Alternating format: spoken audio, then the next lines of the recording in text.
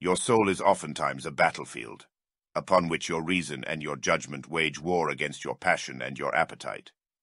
Would that I could be the peacemaker in your soul, that I might turn the discord and the rivalry of your elements into oneness and melody.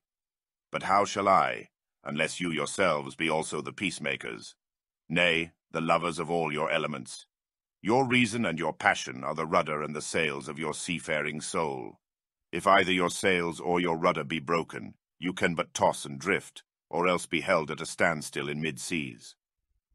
For reason, ruling alone is a force confining, and passion unattended is a flame that burns to its own destruction. Therefore let your soul exalt your reason to the height of passion, that it may sing, and let it direct your passion with reason, that your passion may live through its own daily resurrection, and like the phoenix rise above its own ashes. I would have you consider your judgment and your appetite even as you would two loved guests in your house. Surely you would not honor one guest above the other. For he who is more mindful of one loses the love and the faith of both.